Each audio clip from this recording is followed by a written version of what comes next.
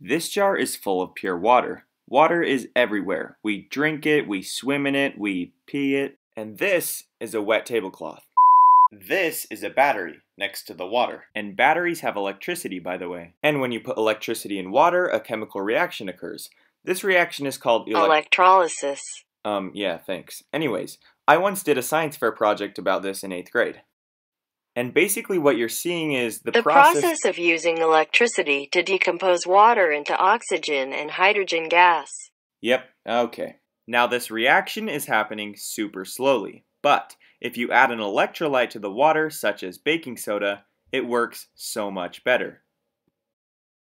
And what's great about using baking soda is that once it's completely dissolved in the water, the water turns 100% transparent again. So watch as I drop the battery in and you can see that immediately as it goes underwater, bubbles start collecting and rising to the surface much quicker than before. And to show you exactly how much faster it's reacting, I'll put a black cloth behind it so you can see some contrast. And the bubbles collecting on the negative side are hydrogen, and on the positive side they're oxygen. And at the end of this video, I'm going to collect a cup of hydrogen and put a lighter to it. Now, I thought I'd scale this experiment up a bit, so I grabbed a much larger container which should hold about 12 cups of water, a ton of baking soda, and not two, not three, but 10 9 volt batteries. And 9 volt batteries have this really nice snapping feature which allows you to connect as many 9 volt batteries as you want. And altogether, this massive battery will have 90 volts of electricity, which is enough to give you a painful shock.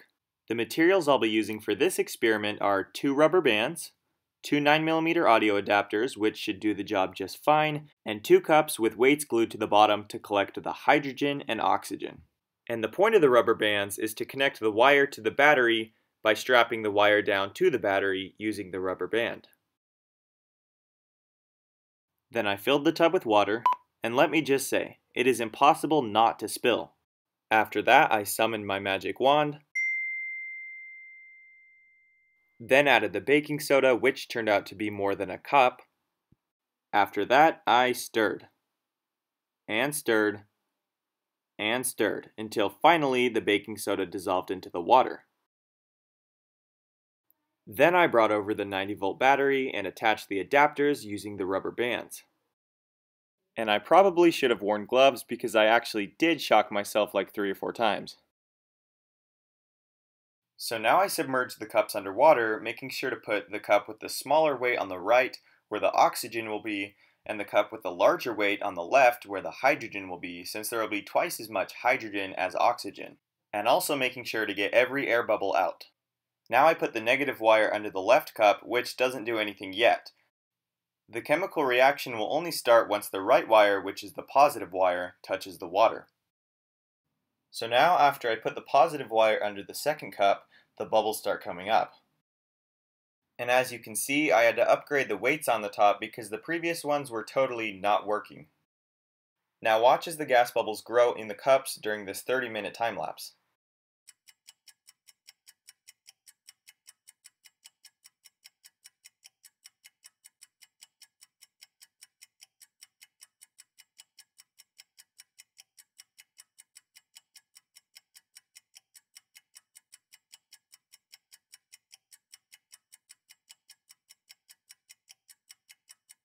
And like three times in a row, I came back into the room to see the cups completely tipped over, and this was why.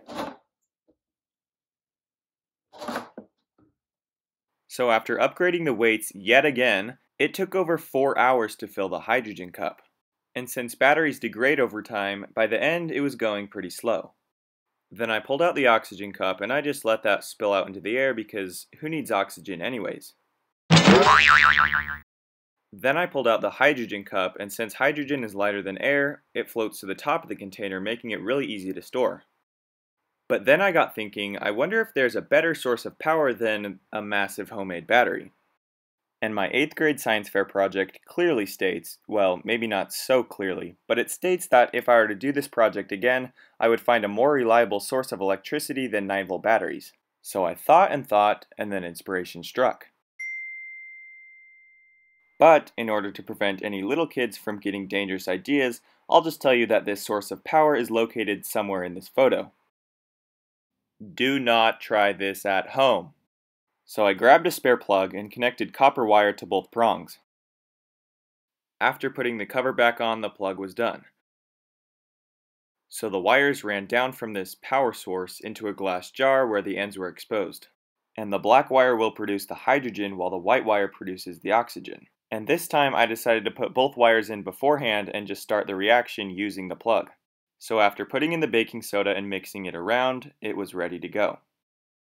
And I decided to use tape this time instead of putting a weight on top of the cups because I totally underestimated the buoyancy of hydrogen and oxygen and this way the hydrogen could still push the cup up but without tipping it over. So now, after inserting the white wire, it was completely ready to go. Now just watch what happens when I plug it in, and also listen to how progressively loud it gets as it goes.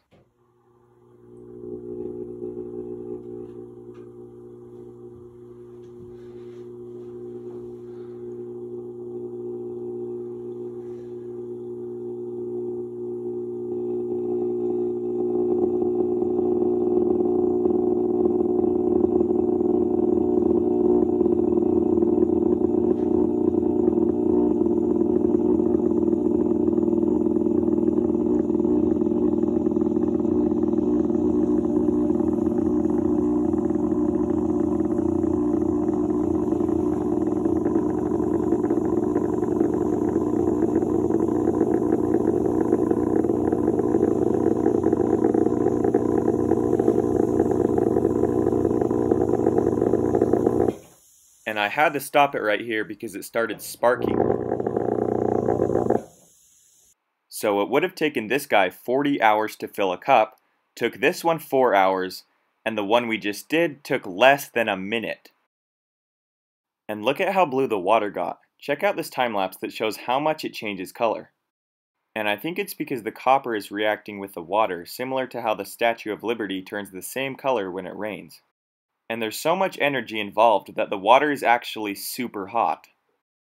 I actually burned my hand in this clip because it was so hot. And I'm lucky the tape held up because the adhesive on one of the pieces was completely melted. So I carefully lifted the cup out, making sure to not lose any hydrogen. And after doing a couple tests with fire, I found that a lighter works way better than a match. So here it is.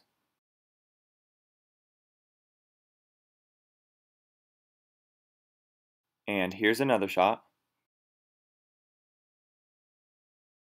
And one more in extra slow-mo because I think it's super cool.